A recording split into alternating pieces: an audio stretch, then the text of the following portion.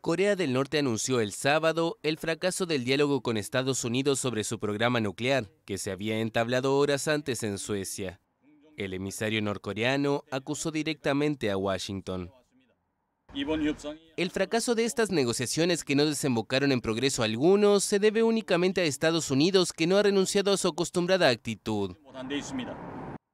En cambio, Washington optó por restarle importancia al fracaso, y una portavoz del Departamento de Estado estadounidense dijo en un comunicado que fueron unas buenas discusiones y que los comentarios de la delegación norcoreana no reflejan el contenido ni el espíritu de la discusión.